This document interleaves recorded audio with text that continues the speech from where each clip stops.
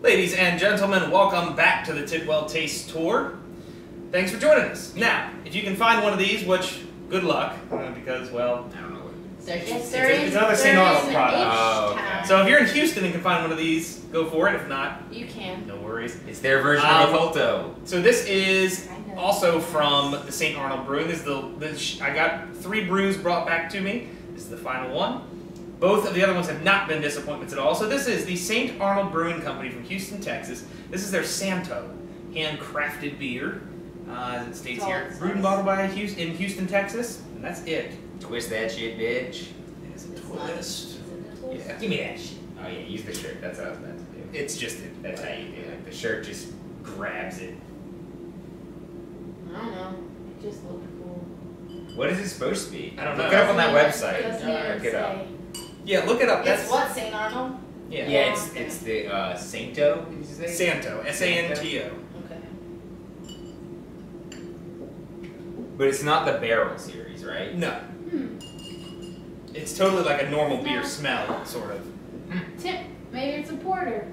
I, No. I find it funny. I find it funny on the bottles. They just give you basically nothing. No. They're just kind of like, "Fuck you." I have terrible Drink it. service, so it's taking Uh, a while.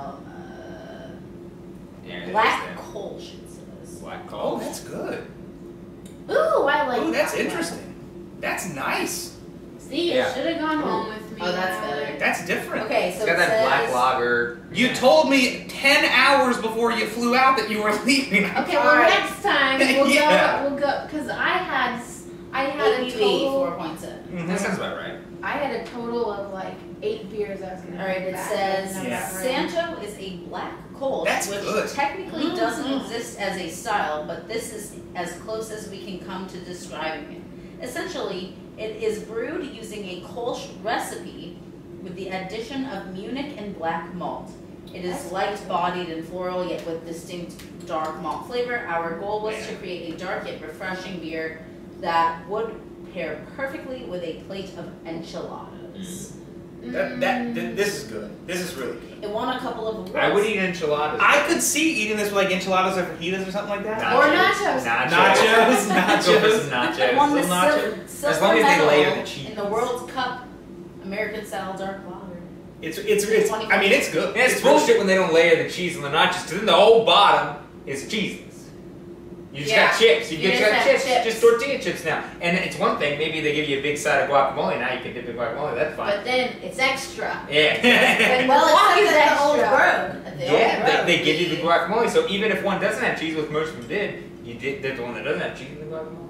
Yep. And it was good guacamole. and it was only like eight ninety five, I think, for the nacho. Big plate. Big plate. It's that guy. This Yeah. is good. So, anyways, this would This is- pair well this with Mexican food. No, it is, but this is it, it's it's weird because traditionally I didn't really like black lagers very much, and um, and not that this is specifically a black lager. Yeah, that's what it is. Traditionally- I'm, gonna, I'm gonna call it. Traditionally, if I like a black beer, it's it's more I'm more like porter than stout. Daniel, see now we can't post this because No. you're being an idiot. I was you. You said malt liquor. No, I didn't. You made that up.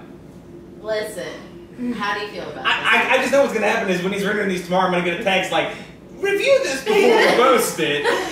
Because I get that all the time. Viewers, just don't don't get it twisted. I get it all the time. Should Well, we post the this? And is- I always say yes. All the time, you got it once. But we joke around. That's the thing. We joke around, and some people might take what we're joking about seriously. So that's why I want to make sure I'm not offending anybody. I'm gonna give this a seven and a half. I'm gonna give it. I'm gonna give it a. Uh, I'm gonna give it an eight for what it is. I, I really like it. It's um, it's.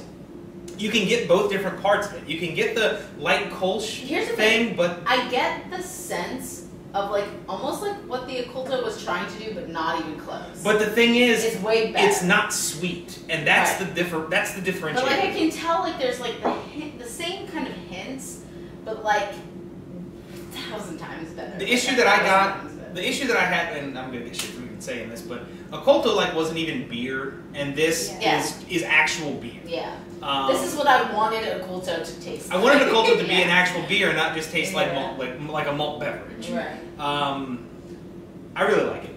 Yeah. I'll give it an eight and a half because I'm biased. Well, sure, it's from Houston. Not that much good from Houston, though. They kind of suck, you know. If you're watching from H Town, I like you. Unless you're a What are you thinking? No, Aren't the not so sure about it. Astros Houston? Yes. Yeah, they stink, right? Yeah, they stink. They suck. They stink pretty bad. What are you gonna give it?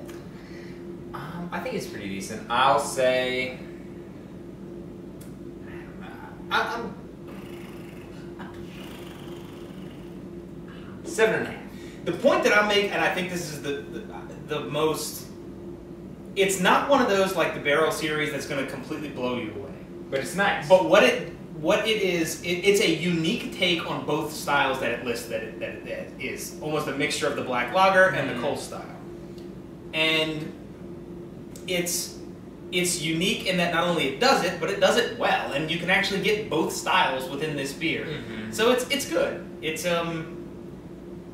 Yeah, I think that pretty much sums it up, right? Mm-hmm. All right. So we have an eight and a half, an eight, Two seven and a half. two seven and a half. Okay. Yep. So this has been the St. Arnold Brewing Company from Houston, Texas. This is their Santo. No alcohol. What was the alcohol percentage? Four point Oh, seven. four point 4.7. seven, yeah. Four point seven percent. It's about right for a Kolsch. Join us again on the Taste Tour. We hope you will. And um, so keep clicking. Thank you.